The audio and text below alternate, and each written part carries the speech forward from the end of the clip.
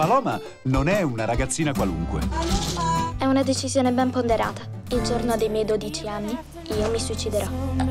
Anche René non è come sembra. Madame Michel mi fa pensare a un riccio, una vera fortezza, ma ho l'impressione che all'interno sia raffinata come quelle bestioline falsamente indolenti. Finché un giorno... Le presento il signor Kakuro Shu, il nostro nuovo proprietario. Ho appena fatto la conoscenza della nostra portiera. Anche lei pensa che non è quello che crediamo? Lui scoprirà il loro segreto. Tutte le famiglie felici si somigliano. Ma le famiglie infelici lo sono ciascuna a modo suo.